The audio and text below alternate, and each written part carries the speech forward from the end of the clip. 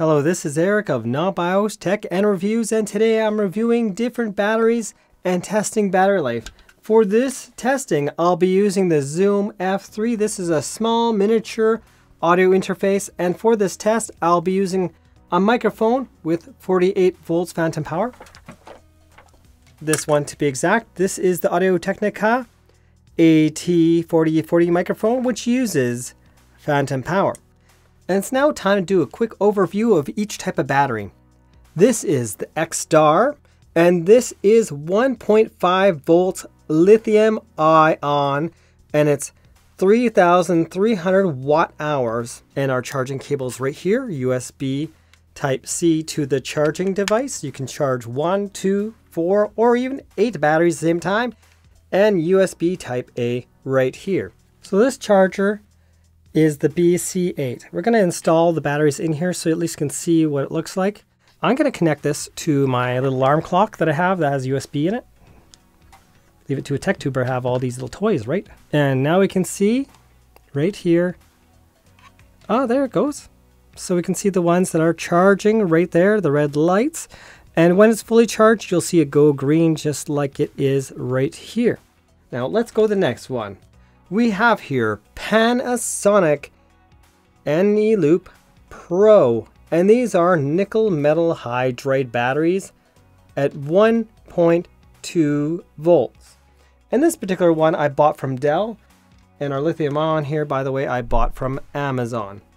Finding a good lithium ion battery is a hard task, and even finding a nickel metal hydride battery that's this sort of capacity of 2,500 little lower capacity, we're going to find out how this fares. And here we have the Panasonic nickel metal hydride charger. This is model BQ-CC17 and we can see this is wall plug-in and not USB like the other charger for the lithium ion battery type. This particular one is only for four batteries.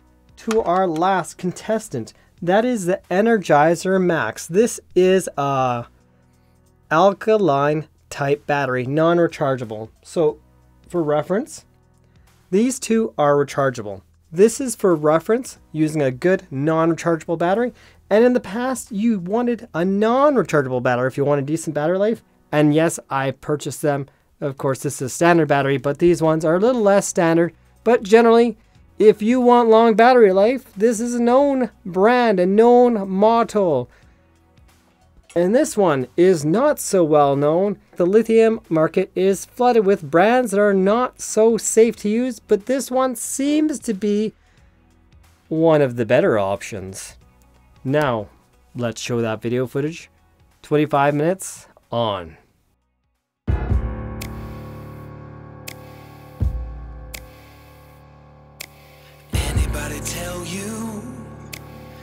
It's gone way too far? No, nothing gonna help you when it falls apart. The prophets and the preachers told you, but you covered your ears,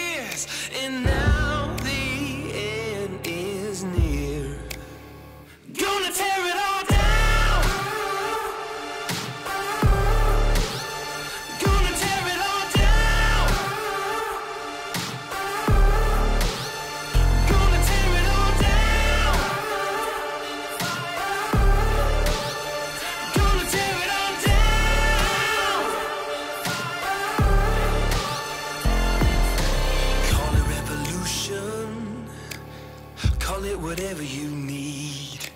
Make a resolution. Battle till you bleed. Prophets and the preachers